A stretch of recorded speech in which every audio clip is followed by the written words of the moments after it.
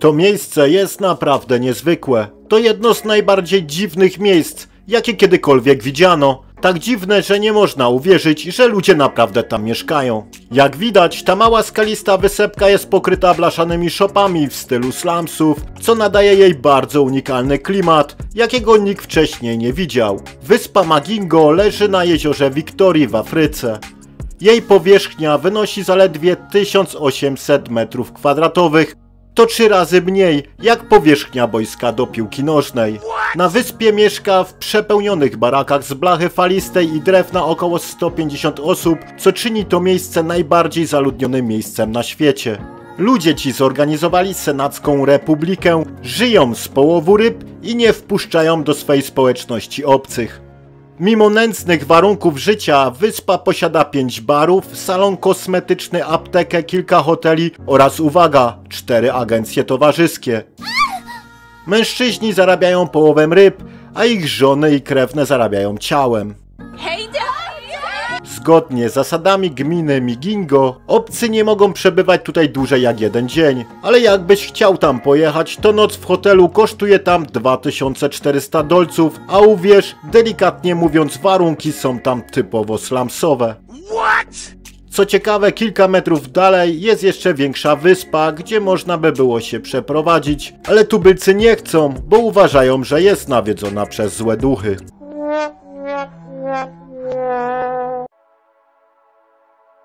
Teraz przenosimy się z tego zatłoczonego, rozpustnego miejsca na Islandię na wyspę Eliday. Znajduje się na niej niezwykły dom, który okrzyknięto najbardziej samotnym domem na świecie. Wygląda tak dziwnie, że mogłoby się wydawać, że wyskoczył prosto ze stron książki z bajkami. Dom jest usytuowany w samym centrum tej dziwnej zielonej wyspy. Było wiele plotek i historii na temat tego miejsca, ale prawda jest znacznie mniej interesująca. Od XVIII wieku na wyspie na co dzień przebywali ludzie, hodowcy owiec, ale miejsce jest tak odizolowane od świata zewnętrznego i panowały tam bardzo trudne warunki do życia, w tym niekorzystna pogoda, że w 1930 roku została opuszczona przez wszystkich mieszkańców, którzy postanowili przenieść się w inne, przyjaźniejsze miejsca. Plotki o tym domie były różne, że należy do jakiegoś milionera, inne mówiły, że do fanatyka religijnego, a jeszcze inne, że do Bjork. Chociaż w tym ostatnim jest trochę prawdy. W 2000 roku ówczesny premier Islandii chciał podarować wyspę islandzkiej piosenkarce w ramach podziękowania za promowanie kraju na arenie międzynarodowej. Inicjatywa ta nie spodobała się jednak obywatelom Islandii, O ty skurwynie! dlatego polityk wycofał się z tego pomysłu. Dom, który widzicie, zbudował w 1953 roku Związek Łowiecki Eliday. Myśliwi zamieszkują go w czasie polowań na maskonury. To takie ptaki wodne wyglądające trochę jak połączenie pingwina z tukanem. Chciałbyś mieszkać w takim miejscu? Daj znać w komentarzu zanim tam pojedziesz, bo tam nie ma zasięgu. Ta mała wioska w Chinach jest znana jako wioska na klifie i łatwo domyślić się dlaczego. Wioska znajduje się na klifie na wysokości około 800 metrów i stała się popularną atrakcją turystyczną dzięki internetowi. W przeszłości mieszkańcy byli bardzo biedni i żyli na skraju egzystencji, ryzykując swoje życie wspinając się po klifie, aby wrócić do domów. Wioska była dostępna tylko przez pokonanie kilku niestabilnych drabin z ratanu, które zastąpiono nowymi stalowymi drabinami w 2016 roku. Nowa drabina ma 2556 stopni i kosztowała prawie 150 tysięcy dolarów. Dziś miejsce jest to popularne wśród turystów kręcących filmy na media społecznościowe, a bezpieczeństwo jest priorytetem. Sytuacja materialna osiedleńców tej wioski bardzo się poprawiła dzięki turystyce, ale wyobraź sobie jak to jest mieszkać w takim miejscu. Wybierasz się do sklepu, jesteś już na dole i wtedy przypominasz sobie, że nie wziąłeś portfela. Teraz z wysokości przenosimy się dosłownie pod ziemię. W środku australijskiego zadupia, gdzie nic nie żyje, znajduje się górnicze miasteczko Cobber Paddy, gdzie ludzie dosłownie mieszkają pod ziemią. Ludzie w tym mieście górniczym przekształcili pozornie trudną sytuację środowiskową w coś pozytywnego, co cieszy ich do dziś. Koberpedi to największa na świecie kopalnia opali, działająca od 1916 roku, co doprowadziło do wykopania wielu dziur i tuneli w ziemi. Problem polegał na tym, że podczas lata temperatura była tak wysoka, że można było smażyć jajka na betonie. Bez klimatyzacji ludzie zdecydowali się zamieszkać w wykopanych wcześniej jaskiniach i tunelach, co okazało się skuteczne. Jaskinie były chłodniejsze o kilkadziesiąt stopni, co pozwalało im na w miarę normalne życie.